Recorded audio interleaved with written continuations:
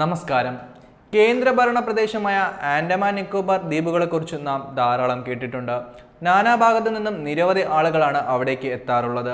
ബംഗാൾ ഉൾക്കടലിൽ സ്ഥിതി ചെയ്യുന്ന ഈ ദ്വീപ സമൂഹത്തിന്റെ ഒരു ഭാഗത്തെ അറിയപ്പെടുന്നത് സെന്റിനൽ ദ്വീപ് എന്നാണ് അറുപതിനായിരം വർഷം പഴക്കമുള്ള ഗോത്രവർഗക്കാരാണ് ഇവിടെ വസിക്കുന്നത്.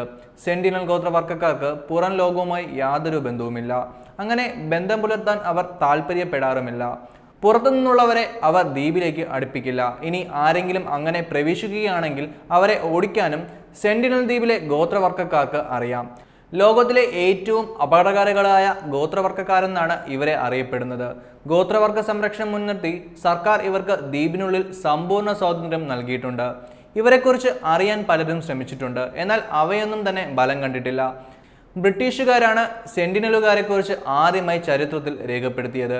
കൂടാതെ ആന്ത്രപ്പോളജിക്കൽ സർവേ ഓഫ് ഇന്ത്യയുടെ പര്യടനത്തിന്റെ ഭാഗമായി ടി എൻ പണ്ഡിതിന്റെയും സംഘത്തിന്റെയും യാത്രയും വിജയിച്ചിട്ടുണ്ട്. നാളികീരവും ഇരുമ്പ് കഷ്ണങ്ങളും നൽകി നിവാസികളെ അനുനയിപ്പിച്ചാണ് ടി എൻ പണ്ഡിതും സംഘവും അവരുടെ അടുത്തേക്ക് ചെന്നത്.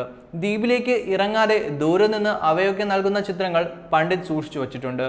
ആയിരത്തി തൊള്ളായിരത്തി അറുപത്തേഴിൽ സെന്റിനിലെ ഗോത്രവർഗക്കാരുമായി ബന്ധം സ്ഥാപിക്കാൻ കേന്ദ്ര സർക്കാർ ശ്രമിച്ചിരുന്നു. അവർക്കായി നിരവധി സമ്മാനങ്ങളുമായി സർക്കാരിന്റെ പ്രതിനിധികൾ എത്തി എന്നാൽ അവരെ സെന്റിനൽ നിവാസികൾ വിരട്ടി ഓടിച്ചു. ആയിരത്തി തൊള്ളായിരത്തി എഴുപതിലും രണ്ടായിരത്തി നാലിലും ശ്രമങ്ങൾ ഉണ്ടായിട്ടുണ്ട്. അവയൊന്നും തന്നെ ബലം കണ്ടിട്ടില്ല.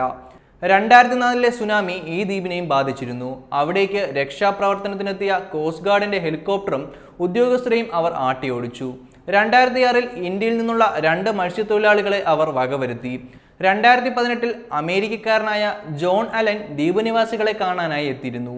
അദ്ദേഹത്തെയും അവർ ക്രൂരമായി കൊലപ്പെടുത്തി.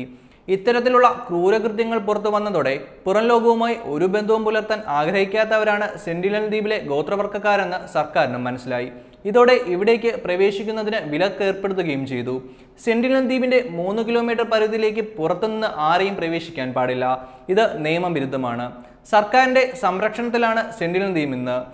പരിമിതമായ അറിവുകൾ പ്രകാരം ഗുഹാമനുഷ്യരെ പോലെ വേട്ടയാടി ചുട്ടുതിന്നുന്ന ഗോത്രവർഗക്കാരാണ് സെന്റിനലുകാരുടേത്. അപരിചിതരായ ആരെയും അവർ ആക്രമിക്കും. എന്നാൽ ഭയം കൊണ്ടാണ് അവർ പുറത്തുനിന്ന് വരുന്നവരെ ആക്രമിച്ച് കൊലപ്പെടുത്തുന്നതെന്നാണ് കണ്ടെത്തൽ. മുന്നൂറ് മുതൽ നാനൂറ് വരെ സെന്റിനൽ ദ്വീപുകാർ ദ്വീപിലുണ്ടെന്നാണ് കണക്കാക്കപ്പെടുന്നത്. വെബ് ഡെസ്ക് തത്തുമൈ ന്യൂസ്.